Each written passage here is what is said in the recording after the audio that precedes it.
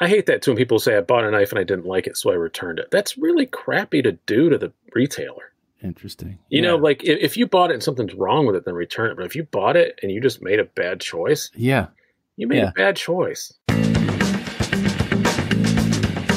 Welcome to the Knife Junkie Podcast, your weekly dose of knife news and information about knives and knife collecting.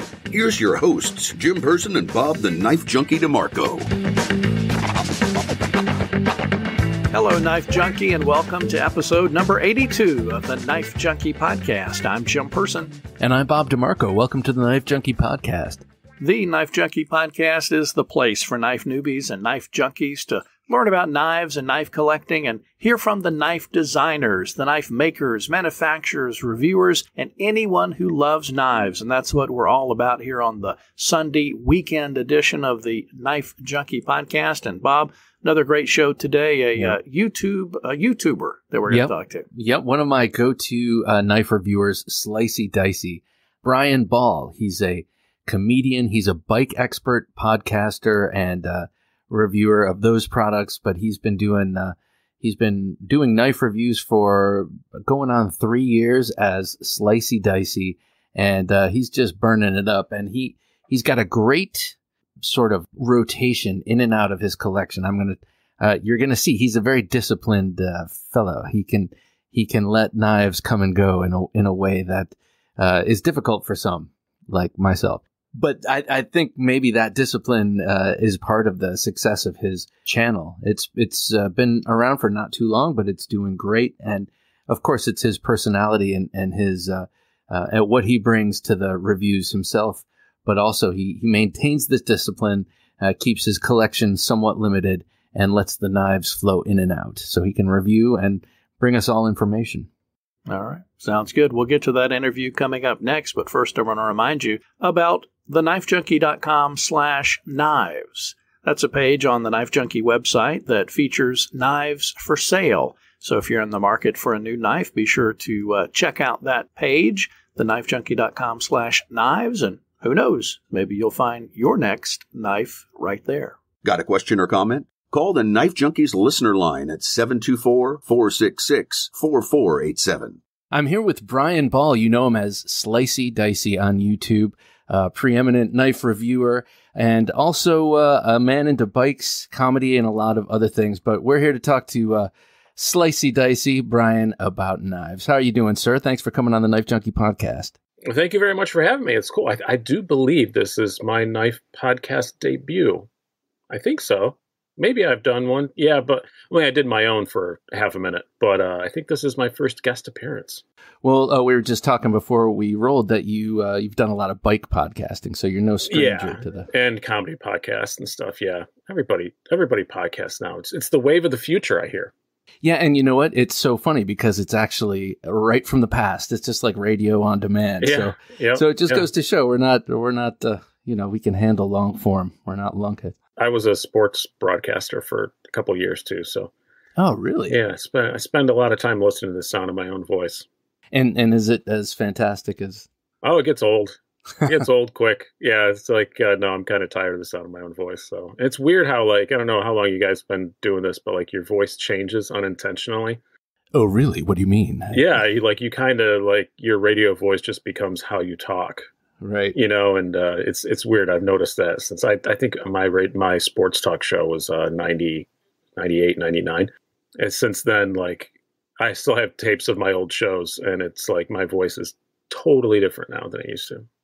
Well, uh, I want to talk about your channel, but you you just posted a video uh, where I was flabbergasted, and you were obviously touched and blown away. But these uh, this uh, viewer of yours sent you three magnificent gifts. Yeah, one of the best ones in my pocket today. Actually, it's actually what I was carrying today. So, um, yeah, I, I should put it in a safe and never touch it, but uh, it's too good not to not to carry around. So, and yeah. and and the story behind your personal connection to it is amazing. But so, uh, tell me, tell me what this gentleman sent you. So this is uh he sent me a Spyderco Ikuchi and a Spyderco Embassy. They're not in range of where I can grab them right now, which they're both really cool too. I didn't know the Embassy existed because I'm not really into autos because I live in New York. So Right. uh, I never even knew that thing existed. And that was really cool. And then the Ikuchi's great. I actually carried it last night at an office party. It's a great little, you know, nice gentleman's knife. But uh, yeah, he sent me this uh, Hinderer XM18 with the Flying Tigers Warthog scale on it, and I used to be in the Flying Tigers, and I thought I had just assumed must be he knew that, but uh, he did not. It was just uh, he knew I was in the Air Force, but he didn't know that, and it was just um, forget the fact that it's a very expensive knife. Um, just that, just uh, yeah, that got me. That Uh, got explain me. what is the Flying Tigers insignia? Uh, the Flying Tigers is uh, they started in World War II. They were volunteers that fought for China before we actually entered the war, uh, pre Pearl Harbor, and uh, they were just volunteers. And uh, they eventually got incorporated into the Army Air Corps, and then you know the Air Force. And they have just moved. They moved around a whole lot. Uh, when I was with them, they were at Pope Air Force Base, and we were what they called a uh, a composite wing. I think I said it called it combined wing on my thing, but it's composite wing, and uh, that meant we had C-130s, F-16s, and A-10s, oh, cool. and we were the only squadron allowed to have nose art, and the nose art was this, you know, the typical, you know, with the with the tiger's teeth and all that. We were the only squadron, only wing allowed to do that, and it looked pretty crappy on the 130s. Looked okay on the F-16s. Looked awesome on the A10s, and that's still when you see a picture of an A10, it usually has the the tiger's teeth on it. oh, it's such a gnarly looking plane. And Yeah. those teeth. Yeah, because the gun's coming out of the mouth, and because that's just a flying gun. Yeah. and uh, Yeah. it's most useful plane in the inventory. That's why they're still around. They keep threatening to kill it, and they never do. But uh, yeah, I was in command and control there, so I sat in a bunker. I didn't fly, but um, I just sat in the bunker and kind of coordinated stuff. Basically, was my uh, my job. So is this where your love for knives began uh, in the armed forces? No, not really. Honestly, um, I had a sidearm. You know, we were always armed, but um, just a nine mil. I didn't even had it. I, I mean, I was qualified on the M16, but I was terrible at it. Like I, I, I can't shoot a long gun to save my life. Four times mark, four times over marksman in the handgun though. But oh, uh, nice. couldn't couldn't shoot a long gun to save my life. I'm very right-handed and very left eye dominant, so it's Oh. it's pretty difficult. But a handgun I can shoot with both eyes open and I do good. But um no, not really. I was in for 4 years. I got out for 2. Uh, I was um doing a sports talk show and racing mountain bikes a little bit and um then I went back in the Air Force. And I guess that's kind of where I started to get into knives. Uh, I was over in Germany and we were doing a joint exercise with some special operations guy and uh, uh, one guy just uh, with all these special operations guys, and they one of them just he had a cool knife like it was an automatic, and he opened it up, and I said, "Oh, that's cool." And he goes, "Here, you want it?" And it got issued to me. Here, you can have it. And he handed it to me. Turned out to be a Benchmade AFO. Oh, sweet. Um, I didn't know that. I didn't know anything about knives at the time. So this was probably 2003, four, and I kept it around. And you know, I had other, I had other knives. I had my dad's, you know, old um, Swiss Army knife, that kind of stuff. But uh, no, I really, really wasn't that into them until only about three. Well, I mean, no, I guess now about four years ago. Yeah, that's when I really started getting into it. I finally went out and bought myself a uh, CRKT um, M16 of some variant Mm-hmm. and I don't remember which one it was. There's so many, and um, and I liked that. That was cool.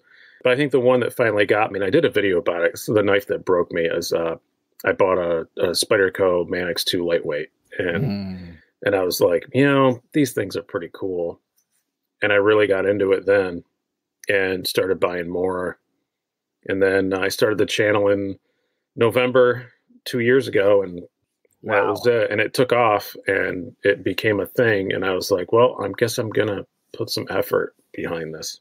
It sure has become a thing. I mean, you, you came on my radar probably not too long after you started because I'm always trolling for knife videos, you know Oh, yeah, me too. how it is. And uh, yeah, so all of a sudden here you were and uh, doing cool stuff too. I mean, now at this point, you you have your weekly live show on Sunday nights, uh, Brews and Blades, yeah, that's been a lot of fun. and you also have the Battle to the Death series. Battle to the death. Yeah. and and uh, which what which I, I can't I can't put in the title or the description. I get demonetized. Uh, so I can I can say it. I can say it, and they're fine with it. But I can't. So wait, it, now I'm trying to think of how you write it out. Do you do? Uh, I just don't write it out. I just versus... I just say whatever versus whatever, and okay. then and then I just so say it in the video. But yeah, it's just their weird little rules. Like the funniest one I ever got demonetized was um the we malice because oh. I I put we knives malice, and they demonetized it. But I took the word knives out of it and it was fine. We have so much malice, you know, it's all good. Yeah, it was Put like it was like the knives and the malice. I guess I hit two words they don't like. Yeah, so tri- triangulated, and then with the we, it sounds like you're trying to organize. Yeah, so. yeah, yeah. I didn't think about that. Yeah, you're right. They probably thought I was trying to organize a protest or something. So okay, I'm trying to get to the very heart of it. There was a moment where you like uh, before you bought that Spyderco uh, lightweight. Mm-hmm Manix and and uh, you started getting into them for some reason or another. Was there a uh, okay? Uh, just lay it background for you. For me, it's uh, uh, martial arts and aesthetics. I love the thingness of them, and then I also like the weaponiness of them because I've been doing Kali for a long time, and it yeah. ties in. What was the what was the was it a, an actual need which I don't have? It's more of a fan, fascination. I just like mechanical things, and I you know, working on bikes all the time out in the garage. And, and I got tired of having, you know, crappy knives and stuff. And um, I just needed a good knife. And I bought that M16 and it was all right. But I, I, am one of those kind of guys. I do research about products after I buy them. so uh, I went down to like, I don't know, like, uh, was it's not Bass Pro Shops. I can't remember what we had here. They're gone now it was one of these big, you know, box store things, and I bought the M16, and then I got then I got home and I looked on YouTube and looked up videos, and I found, you know, guys like Nutnfancy and you know Shabazz and stuff like that, and I started watching the videos, and and then I I do believe I think it might have been Gideon's Tactical, I think hmm. maybe did a review about the Manix 2 lightweight and about how amazing it was, and that was the first knife I ordered online, and I got it and I love it. Still have it. Just a great knife. Uh, very excited that they're coming out with a new one with that new steel in it. I'm kind of exp- excited to see that. That's Is that the Spy, Spy 27? Yeah. yeah. Um, don't know if it's going to be good or not, but I don't care. It's another, it's an excuse to get another Manix 2 lightweight. So it's, yeah, yeah. it's fine. Um, but yeah, and I got into that and then I started watching more and more of the videos. I bought a couple more and then um, actually, I've told this story before on, on my live show and stuff, but uh, in November of what was it, 2017. My dog died, and um, her last act on this earth was to bite my hand quite badly. Uh, she was already drugged up halfway through the process of having her put down, and she didn't know what she was doing. But uh, it hurt my hand enough that I couldn't really type, and the uh, bike industry shuts down November and December anyway, and that was my main occupation at the time. So I had nothing else to do, and I was sitting around watching knife videos. I thought, you know what, I could maybe I could do that. I think maybe I could I could do that. I've been a broadcaster before, you know, and, and I know about reviewing stuff. I've been, pro- been reviewing products for 20 freaking years. So, like, I know the basics of it. So I went down to Best Buy and bought a crappy, you know, table mount thing for my iPhone and, and shot a few videos. And two months later, I had like a thousand subs and I was like, well, I guess this is a thing now. I have a nasty habit of turning job or turning uh, very good hobbies into jobs. Mm. So that's kind of what I've done with this, and it's it's kind of taken off, and and I really like it. I like the people. I've I've had I expected more bad reactions than I've gotten by a, a, a by a long margin. Um, I don't fit the demographic 100%. So I wasn't sure how that was going to go. And what do you perceive the demographic? Well, I'm not, I'm not into guns mm-hmm. and, um, you know, I, I, don't, I don't carry a gun. I just don't, I, I used to, and I just don't like it anymore. You know, I'm, uh, I'm not, I'm not particularly, uh, GOP oriented. Mm-hmm. And I would consider myself a moderate, but I'm not like a super, you know, Republican kind of guy. And that's just how I assumed everybody was going to be and it's not. You know, every it's very wide range people. You know, going to Blade Show was great. Everybody was cool. Like I didn't have any run ins with anyone.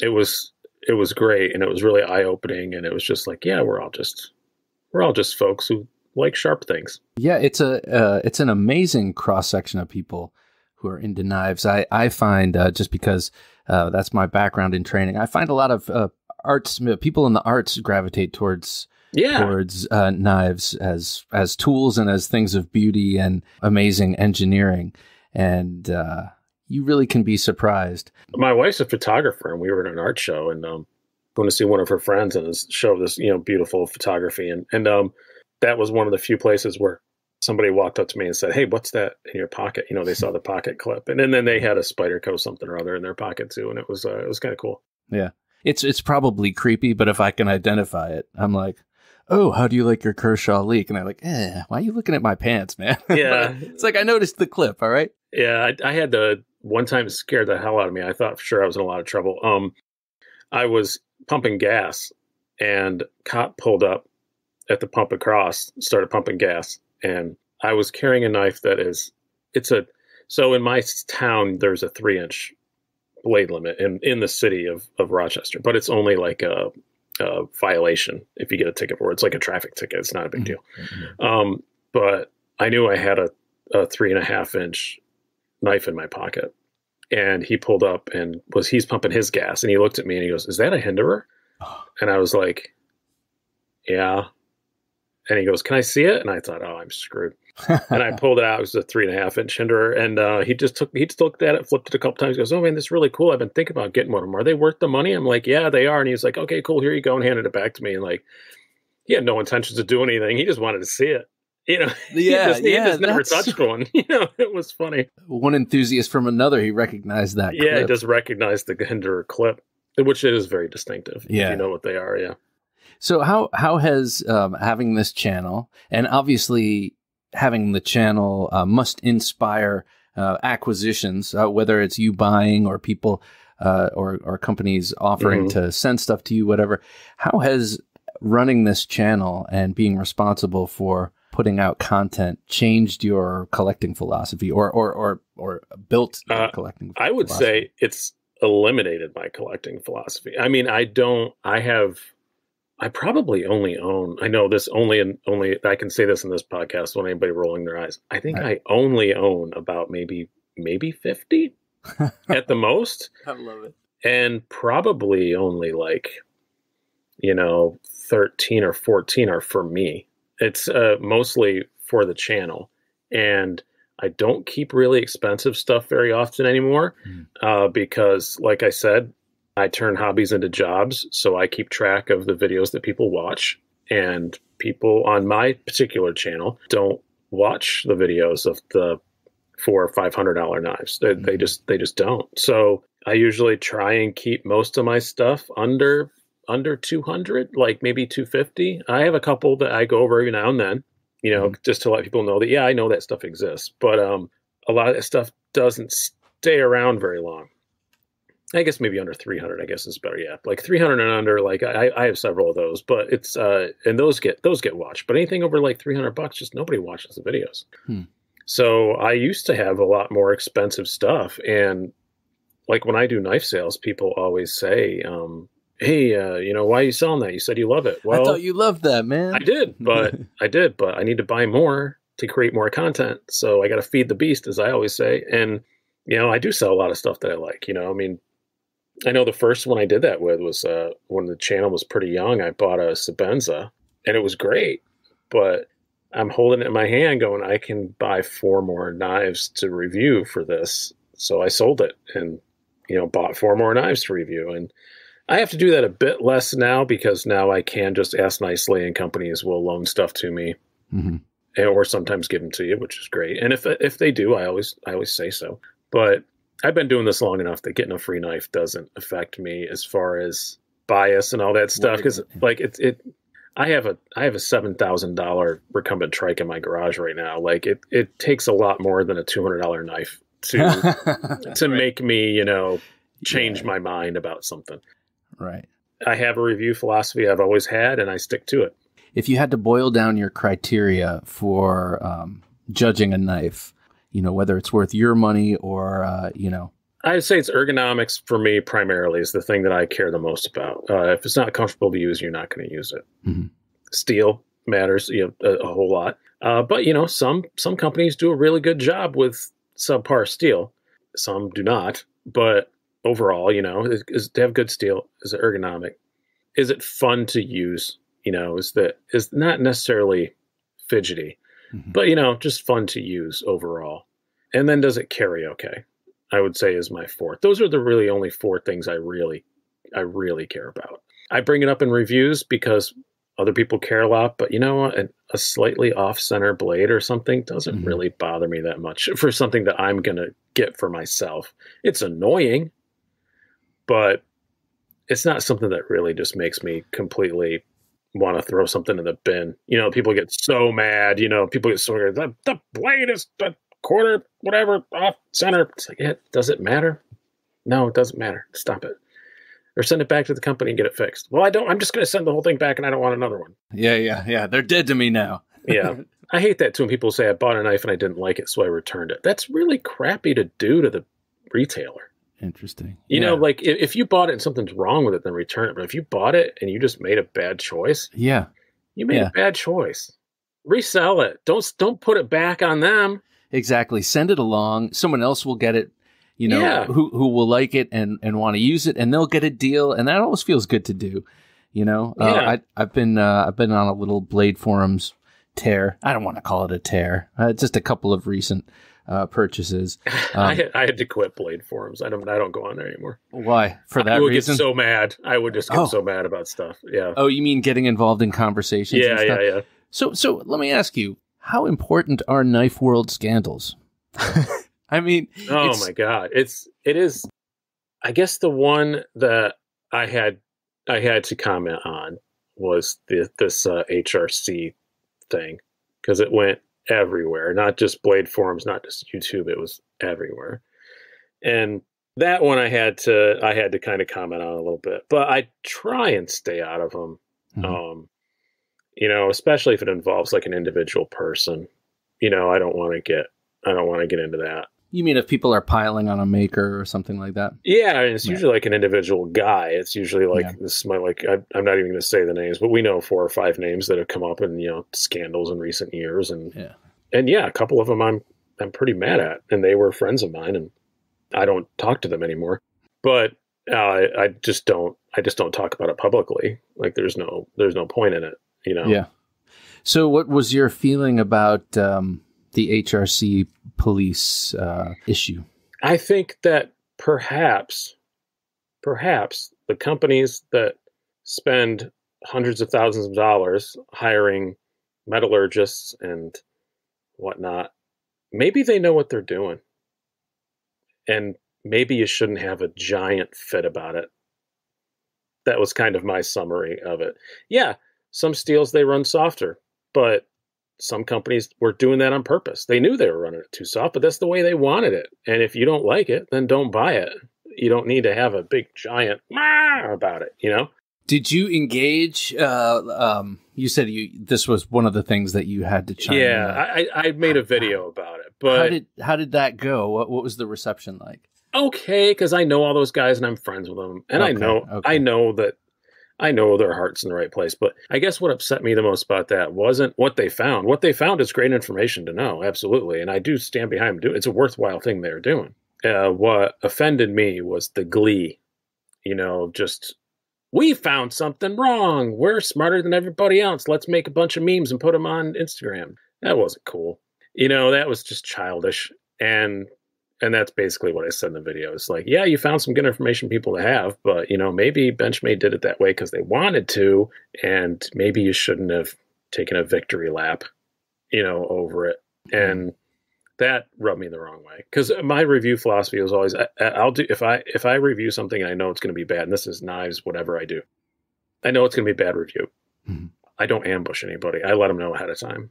What do you, I'm sorry. What do you mean? Like the company? Yeah, I'll contact the company and say, "Hey, this is I don't like this. This is going to be a, a bad review." Wow. And if and if if they give me their side, I'll put that in the review. Doesn't mean I'm going to change what I said, Right. but I'll put their side in it. You know, and that's that's all you got to do. Yeah. That that is an amazingly fair and uh, like level-headed approach. I think it's just purely professional approach. Like I just I think Right. everybody should do that. And I was taught that I worked for Wired and wired.com taught me that. Like that was they taught me how to review things. And I'd already been reviewing things before I got hired by them, but they're the ones. Leander Kahney, uh, editor of mine, great guy. Mhm. He's the one who taught me how to properly do things, and he taught me to do that. And he also taught me one thing that I will always remember, and it's um, if you I, I, I sent in a phone review that had a bunch of like battery drain tests and all kinds of really technical stuff in it, and he cut it all out. And he said, uh, if you put super technical stuff in reviews, the 25 people who care are just going to tell you that you did it wrong. so don't do it. And that's the way I've always been with review stuff. Well, it's, that it's that like, rings true, man. yeah, it's just that nobody cares. And the people who do care are going to tell you that your testing was wrong because it doesn't agree with what they want to think. So just don't, just don't do it. Other people do it better than me. I also don't play a game that I don't think I can win. And those guys, there's Cedric and Ada, Hmm. you know, um, Super Steel Steve, other guys, they do so much a better job at steel testing than I ever will. So why, why should I do it? Right. It can be fun, you know, to to watch a reviewer using the knife, you know, for a minute cutting cardboard or cutting wood or whatever. But after a while, it, it that that grows tiresome. I mean, I enjoy the videos. I'm just saying they're better at it than I am. And Oh, they, no, no, that's and, what and they, and they catch so much flack. Oh, You know that it's just like I'm not going to deal with that. Like I said, the 25 people who are caring to tell you you did it wrong, and I- Right. I, just don't. I just don't want to get into it, so I don't. I, I have to say, it it never would have occurred to me personally to contact the company to say I'm about to put this thing up forever online. That's going to Yeah. be lambasting your your hard work. And but uh, it's a very um, I, I like that. I'm up front and I say I'm not going to change my mind. Yeah. Like But- I've but already made my know that- decision, but yeah. you should know. Do you have an opinion about it? And that's better than putting it up and then asking for their their response later. You know, and, and in the knife community, I've done that three or four times, and all three times they haven't wanted to say anything. Huh. They've been like, "No, that, okay, that's all right." Who do you think does it best? Uh, Who are your favorite uh, knife companies in term, not just in terms of product, but in terms of you know their out their their forward facing, their outward facing look. to deal with. Yeah. Um, I would say Benchmade's always been pretty respon or pretty responsive to me. Spyderco most of the time is when they're busy, they're busy though. That's kind of Mhm. just because everything goes, you know, through Sal and Eric. So when they're busy, busy. the Ferrum Forge guys Oh yeah, always respond to me immediately. Uh, TRM is is fantastically easy to get a hold of. Yeah, I would say those guys. So, knives, bikes, comedy. We're going to get to the comedy in a second, but you now write for Knives Illustrated. Is that right? Yeah, I just started actually. I just So, tell me about that. so oddly enough, uh, one of our very good friends is this couple we hang out with, and I guess I could best describe her as a drinking buddy. And um, she posted a picture on Facebook of her holding Knives Illustrated, like a copy. They were in a weird town somewhere, and it was like on the newsstand. So she just was like, "Hey, the, my magazine's on here," and I was like, "What do you mean that's your magazine?" I never knew that's what she did. Like I knew that she was a magazine editor, but I didn't know what magazine it was.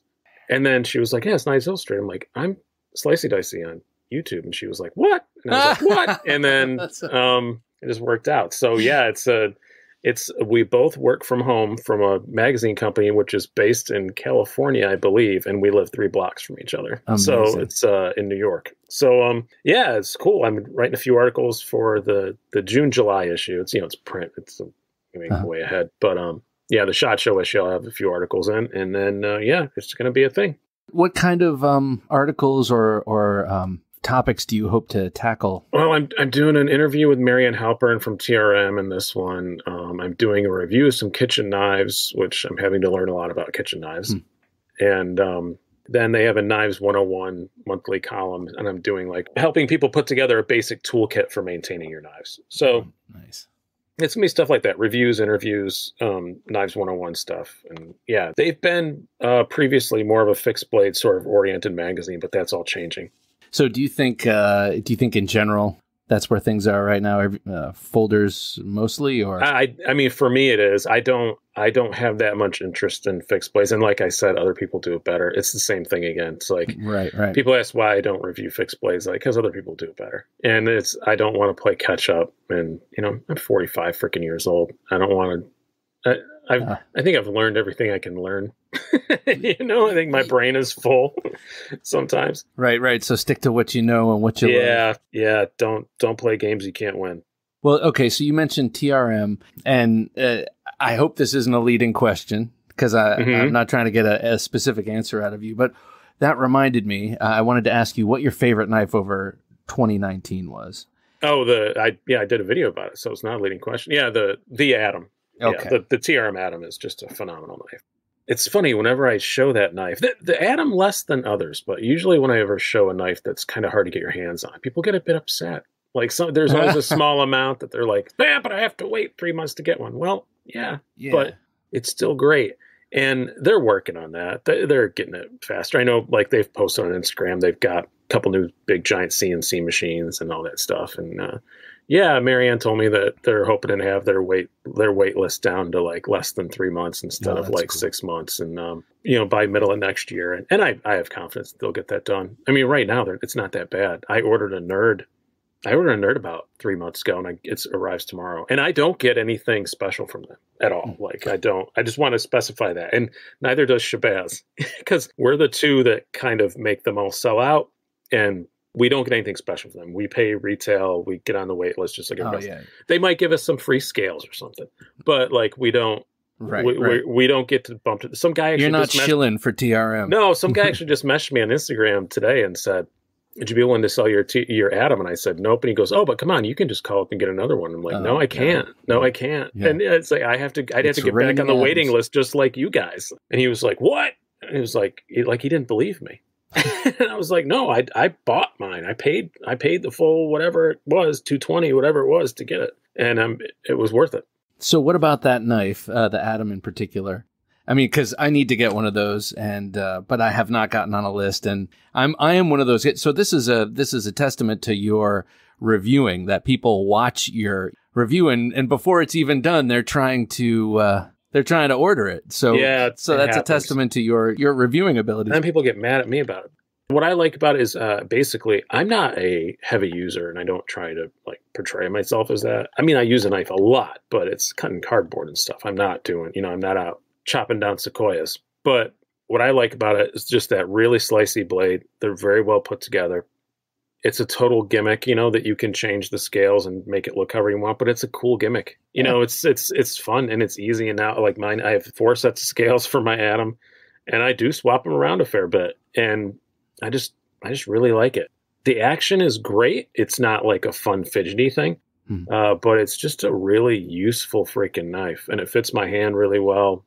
It's really light and slim and easy to carry, and I just I love it. It, it has a utilitarian beauty to me. It's very simple and Yes. sleek. You know, I, Yeah. I can go from one extreme to the other. Like, give me as many finger grooves and choils as you can give me, you know, Mhm. and the and the curviest, weirdest uh, blade you can give me, Yeah. or give me clean, you know, and beautiful. And something about that atom, to me and to my eye, that is so far their most. They're they're they're most refined in terms of proportion and stuff. Exactly. That's what I was going to say. Proportionally, it's it's the best looking one. Yeah. So the nerd that is that a slip joint? No, the nerd is basically, um, you know, the Atlas, the little slip joint. Yeah. which I have one of those, which I love. I, whenever I go to Europe, that's what I always carry. Uh, That's the only knife I take with me. It's awesome. But um, it's basically a locking atlas. Okay. They're about that size. So I don't know if it's exactly the same. I'll find out tomorrow. And it's got uh it's got a thumb opening system that's more of a dimple than a hole. Is that correct? Yeah, yeah, yeah. Okay. Yeah. Right. And it, you know, and the and that's kind of their thing now. They do that little etched in thing. But And it's get you got the three rivers Yeah. coming together.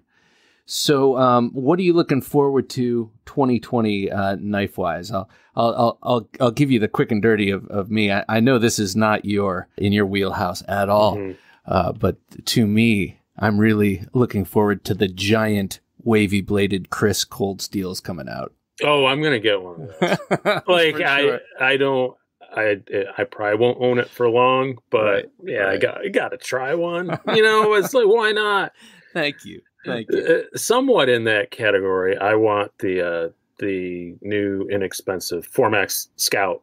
Yeah, I'm definitely gonna get one of those. Yes, Um, I have a Benchmade, the new bug out with the carbon The spectacular CF Elite, orgasmic whatever they call it Yeah. you know cf elite yeah whatever it was um carbon fiber that doesn't look like carbon fiber. yeah i'm gonna try that and uh i think those are the only two that i have oh i have my uh brian nadeau void Oh, uh, after i just gave that speech about not reviewing stuff over $300 but that's an exception. It's brian nadeau they're amazing and i really wanted one so i got one. Well, it And, sounds like um, this is one for you. yeah this is for me. Yeah. i'm really excited about getting that. That should be arriving in uh, the next week or two. What else have i seen? A lot of the crkt and kershaw stuff looks pretty cool. Yeah, Like, yeah. I'm terrible at remembering like some of their names because they make no sense to me. But um, but the the what's the the Thero the one that I can't remember. There's one that CRKT I really like the look of, and uh, a couple of the Kershaws look cool. I kind of want one of the Kershaw balisongs. Yeah. Yeah, the the blade looks really nice. Something about that blade. yeah, uh, something about that blade. And like, in my first knife that I had as a kid was a balisong that my father bought me at a county fair. He made bad decisions. ah, that, I was And, um, that was one of the good ones though. Yeah, no, but it was luckily it was a piece of crap and as sharp as a butter knife. So I didn't I didn't ever cut myself with it. But I'm hoping I still have muscle memory from being 12 years old. You know, I don't know, but um I got it when I was 12. I probably fell apart by the time I was like 15. I don't remember what even happened to it. Um, I remember there was spray paint involved at one point. Um, but uh, it was it was fun to fiddle around with and fun to impress my friends with. And of course, that was that was before the internet Yes. so I didn't have videos to you know show me how to do it. So I just learned from like watching movies. I, I think you, know? will feel it in your hand and it'll come right back. Uh, my wife and I experienced something similar to that. We got our hands on one, and uh, seeing her do it, seeing her flip it around like she was in high school, I was like, "Ooh, Yeah, I, I, but I really uh, that's it's not bad. They're like what 120 bucks, Yeah. something like that. Yeah, Yeah. it looks pretty nice for that. So that's that's pretty tempting. And I never thought I'd be tempted by a balisong. I actually don't. I don't like all the flippy doos, and those guys annoy the crap out of me at Blade Show. I was very glad this year at Blade Yeah. Show they they squashed that. They they threw some kids out for walking around flipping knives around. They said we have a place for that. It's the parking lot." Yeah, Yeah. you know, uh, I've never been to Blade Show. This will be uh, our first year going. But who's I? Ta- I think I was talking to Nick Shabazz, and he was talking about Bally Boys. He was calling them. Bros. Bally Bros walking Yeah. around, and and you know, no doubt isn't it is some very impressive skill involved. Oh, Um, absolutely. But um, but take it outside. yeah, don't- I, would I imagine in a, in a crowded hall, though. Yeah, it's probably not the place to be doing that. Yeah, it's a yeah, it's a bit annoying. So, uh, one thing I noticed from your channel right off uh, the bat was your sense of humor. Not that you're making funny review videos, but I could just, I don't know, sense your sense of humor and then discover a little while later that you also have a career in comedy. You're a stand up comedian. Yeah, that's uh that's becoming like uh, quickly my uh it's almost my primary job now. Yeah, it's uh it it was a fun hobby. I always wanted to be David Letterman when I was a little kid. um, I'd always stand up and watch Letterman, and I always just wanted to do that. And um, screw Jay Leno, I always liked Letterman, and uh, I um, never had the opportunity to do it. I lived in the boonies uh, growing up, and which was a great place to grow up. Uh, not knocking it, um, playing in the woods, all that stuff, shooting guns, and all that fun stuff. But then I uh, and I moved around a lot, and I just never had a chance to. And I moved here to Rochester 11 years ago, and um, I went into a coffee shop. They had a sign up saying that there's an open mic, you know, next week uh, or the next night. We went and watched it. I didn't go up the first time I went. I watched it, and I'd done a lot of public speaking for bike stuff, so I'd been in front of crowds. That didn't bother me. And I watched this open mic, and I thought, well, God, I, I won't be the worst. You know, like there were some really terrible people on it, and I was like, I I'm going to be better than that. And I spent a week and wrote five minutes and went up and did okay. Actually, a lot of people have bad experiences the first time up. Actually, mine went mine went all right. I was happy. I got I got a couple big laughs. A couple jokes didn't do good at all. I knew to cut those out immediately. And um, I tried to do dirty stuff, and I I'm not good at that. I don't do that anymore. I do dark stuff, but I don't really do anything that dirty Mhm. and um, then uh, I just I got addicted to it. You get that first big laugh, and it's just like you know, you're hooked, you know. And and then within within like four or five months, I was hosting at the comedy club, and Wow. and it was uh, kind of like Slicey Dicey. It just kind of took off, and then it got out of hand, and it kind of stagnated for a while for a, a couple of years because my mother went into a nursing home, and I was, you know, I was focused on her and all on all that, and I stopped going on the road, and um, still not back on the road, but I'm doing a lot more stuff regionally, locally, you know, that kind of thing. Well, I I, I have always had a fascination with stand up comedy and the fortitude it takes to get up in front of a crowd and and proclaim I'm funny and you know listen to me and you're gonna laugh and and really um, you know when you can walk up there and make people laugh I mean what a that's like a gift you know and uh, actually you just recently put up about what is it about a 20 minute set yeah yeah on YouTube one of my yeah one of my usual feature sets yeah oh man people should check it out it's hilarious and and uh, the the thing I mean I have it has some swears in it. It has some swears. That's all right. We're all adults. We can we can get through that. But but the uh, the the whole German thing cracked me up. Then that and that is that was a conversation that um, we had with. I was in the Air Force. Uh, we were command and control. We always make fun of the cops because the cops were like, it was a joke. You know, your ASVAB score that that test you take when you're in high school, that your military application test or whatever. You know, mm-hmm. yeah the lowest score in the Air Force was the police thing because the the the, low, the Air Force has the highest minimum, but the lowest minimum was was the police. So we always made fun of them, and I just made that joke. I was like, one of them's going to say, halt over Scheiße. And, uh, and we laughed about it for like days. And then I just remembered that. So that was actually one of the first jokes I ever told on stage. And I keep that in my back pocket. I know it's guaranteed to get a laugh. So I try not to use it because it's so old, but I'll pull it out when I have to. But know? also the sign, you're not children. I can't remember. Am, am I remembering that correctly? I didn't do the. You're right. I'm sorry. In that video, I'm talking, thinking of the wrong joke. I didn't do the I didn't do the Halt over in that, did I? No, this was a no. You're talking about the signs. Yeah, yeah, yeah. German people are weird. I love the country, but man, they're odd. They're odd people. We have some close friends, some close family friends, and and uh, I love just comparing idiosyncrasies, you know, between between cultures, because man, they got them, and and we do too. They point out to me, "Why do you eat with one hand under the table?" I'm like, okay, we're oh yeah, they there. hate that. they hate that. Yep. I, the biggest thing I got yelled at the last time I was in Germany is I walked out of the restaurant with my soda can.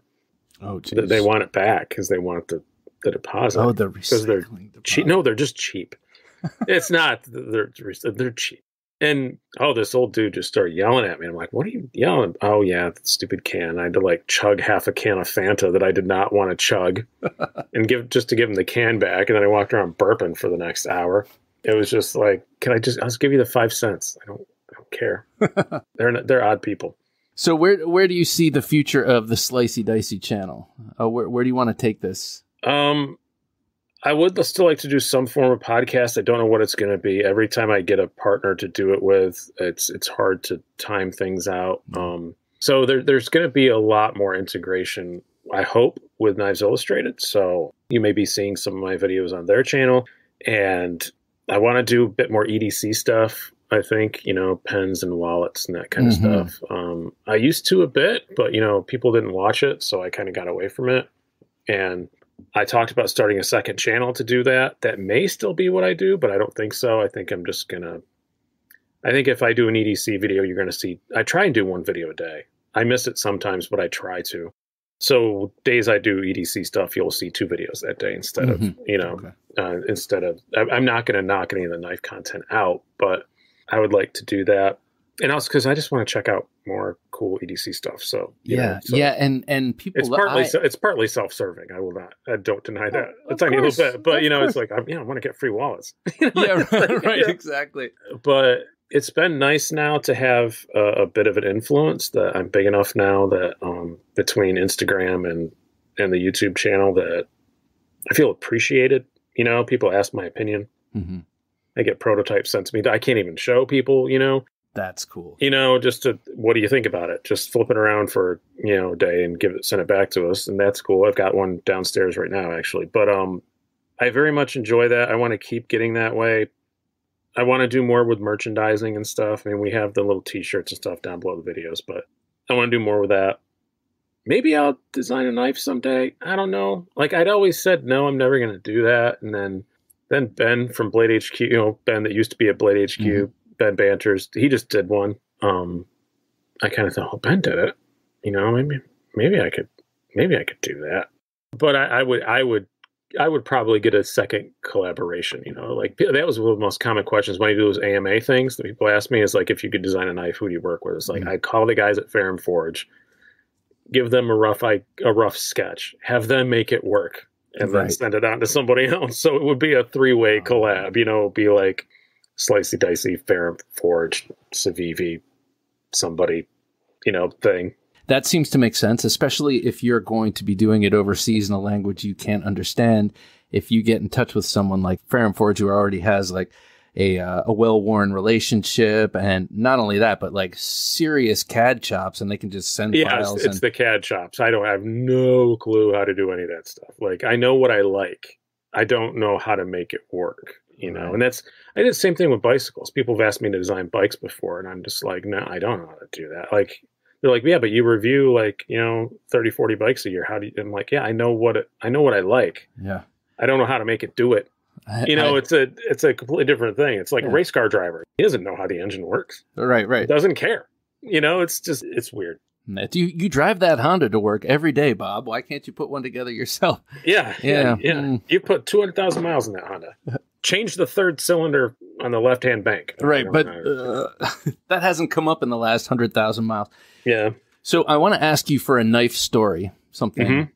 something funny or or harrowing or whatever. But before before you tell me that, I, I want to do a little speed round with you, if you don't Mhm. mind. So Sure. I have fifteen questions, and then and uh, there, fifteen. yeah, God. it's a it's a it's an either or until we get to the last one. Okay, Goes a little bit something like this: fixed or folder, folder, flipper or thumb stud, thumb stud, washers or bearings, eh, bearings.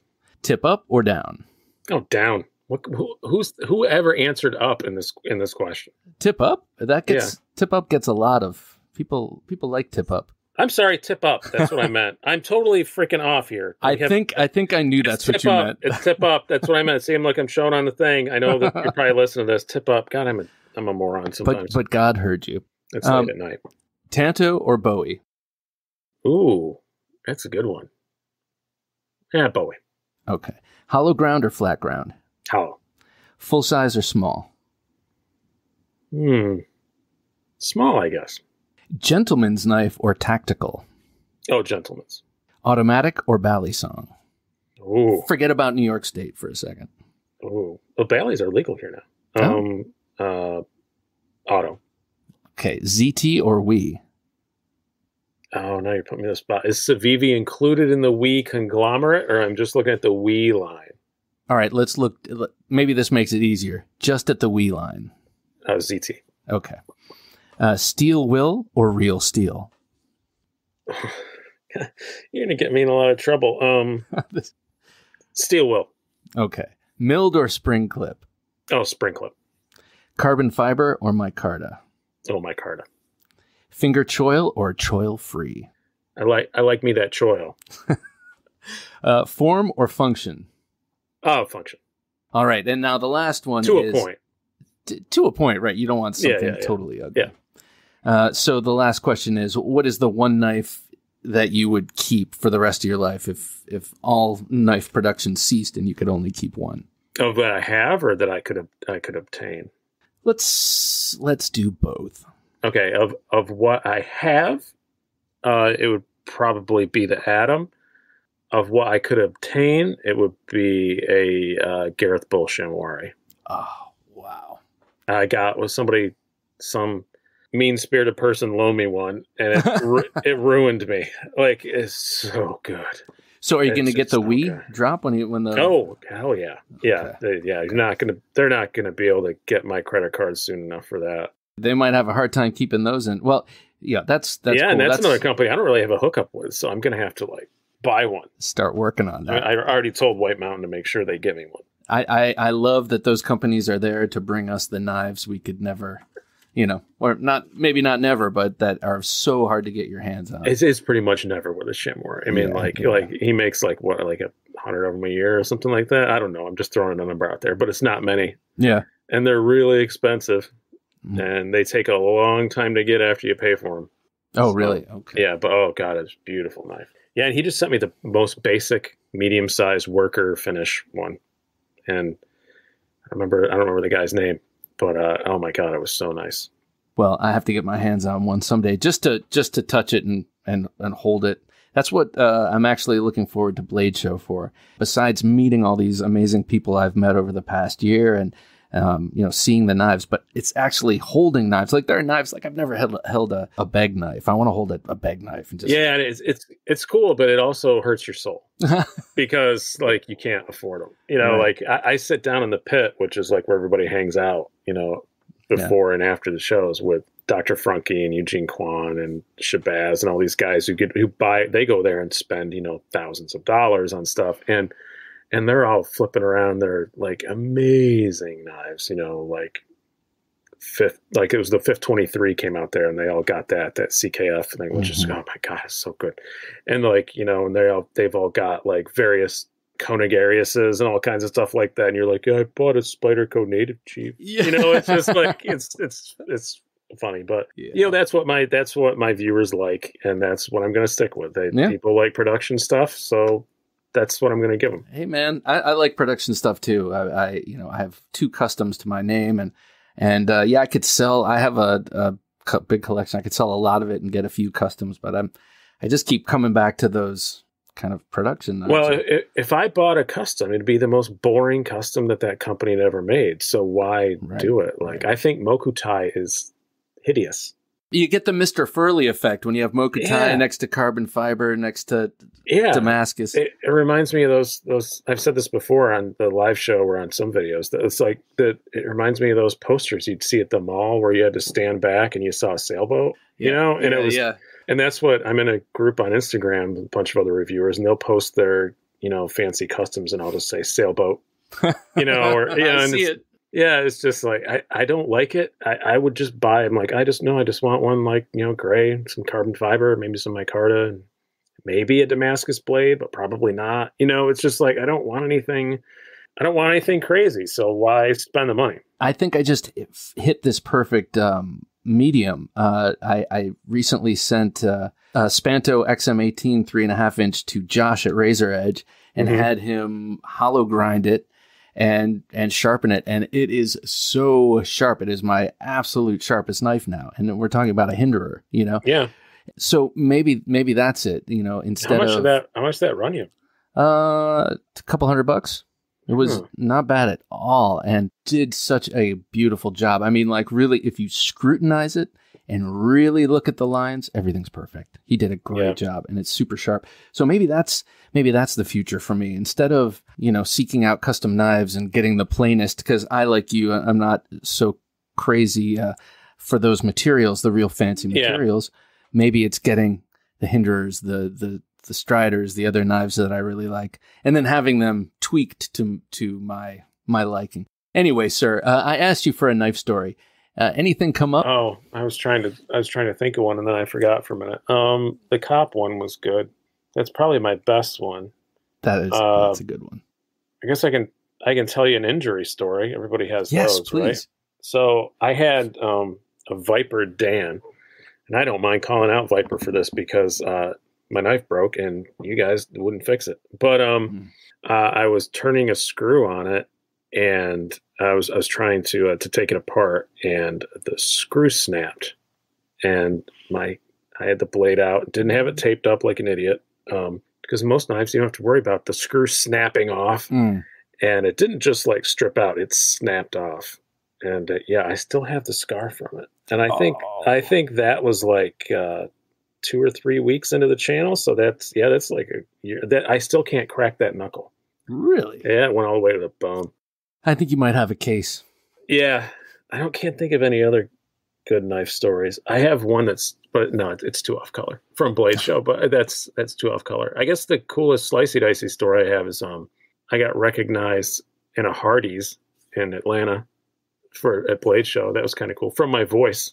Really? Yeah, because I was on my phone yelling at my bank, and I was in line at Hardee's, and this guy kept looking at me, and I thought he was annoyed that I was because I was being quite, I was quite angry at my bank at that moment. So I was yelling at my bank, and then I kind of angrily hung up the phone, and then he turned around and said, "Are you Slicey Dicey on YouTube?"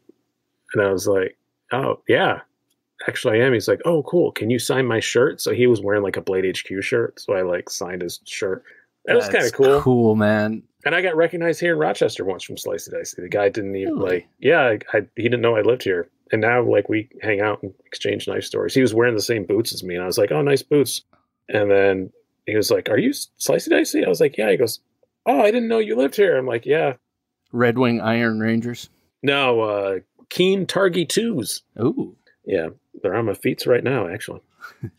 Well, Bryan, thank you so much for coming on the Knife Junkie podcast. It's been a pleasure to meet you. Yeah, thank you again for having me. and talk fun. with you. I've I've watched so many hours of your videos. You're another one of these guys that uh, I feel like I already know you going into meeting you, but man, obviously I don't, and it's been a pleasure. I, I had one guy tell me once he listens to my videos as he goes to sleep, which I'm not 100 percent sure how to feel about that. So, that is weird. That is That weird. But now you know you you weird wield a special power. levels. It was weird on multiple levels. So yeah, Start putting some subliminals in those videos now. I need to do knife ASMR videos. Those ones where they just whisper into the camera. Yeah. Send, whisper. send me all Listen. your knives. Listen to listen to the listen to the knife. I just I don't know. I, I think I think I, I think I'm missing out. Well, Slicey Dicey, thanks for coming on. Thank you very much. Subscribe to the Knife Junkies YouTube channel at theknifejunkie.com slash YouTube. Always cool when we have uh, YouTube reviewers on the uh, the podcast, Bob. Uh, you know, different uh, perspective and uh, different uh, uh, things we learned from them. What was your uh, Yeah. main takeaway in your conversation with Slicey? Well, I mean, I think he has a background of reviewing products, and that's a great format with which to approach reviewing knives. But I think, you know, obviously he's got this sick love of knives, which we can all relate to. But Bryan approaches this like a job. And in doing so, he, and this is something I keep coming back to, he's been able to maintain a discipline and also, you know, create a, uh, an online identity, create a, a, a identity for himself in the knife world, and also, you know, earn a tidy, uh, tidy bit from that. So I don't know. He's kind of inspirational as well as uh, informational, if you will. What did he call it? It Was it jobby or something like that? You know, turning the hobby into a job. Yeah, it's a yeah. jobby. yeah, So I thought that was pretty cool. Yeah. All right. Want to ask you a favor, if you could. Uh, we don't ask a whole lot of favors. Maybe. Sounds like what I say to my daughters. I ask so Right. little of you. That's right. Ask so little. But I do want to ask you a favor. If you are enjoying the Knife Junkie podcast, we would most appreciate if you would leave us a rating or and or a review. It would mean the world to us to kind of get a gauge on how we're doing, what you like, what you don't like, what you'd like to hear, suggestions, feedback. Please go to reviewthepodcast.com. That's reviewthepodcast.com or just on your podcast player, your podcast catcher, wherever you're listening to your podcast right now. Give us a heart, give us a thumbs up, leave a comment, leave a rating, leave a review. If you do that, we won't bother you. We won't ask you again. but please uh, let us know how we're doing. We'd love to hear from you. And that's going to wrap up episode number 82 of the Knife Junkie podcast. So for Bob, the Knife Junkie DeMarco, I'm Jim, the Knife Newbie Person. Thanks for listening. Thanks for listening to the Knife Junkie Podcast. If you enjoyed the show, please rate and review at reviewthepodcast.com. For show notes for today's episode, additional resources, and to listen to past episodes, visit our website, theknifejunkie.com. You can also watch our latest videos on YouTube at theknifejunkie.com slash YouTube. Check out some great knife photos on theknifejunkie.com slash Instagram and join our Facebook group at theknifejunkie.com slash Facebook. And if you have a question or comment, email them to bob at theknifejunkie.com or call our 24-7 listener line at 724-466-4487 and you may hear your comment or question answered on an upcoming episode of the Knife Junkie Podcast.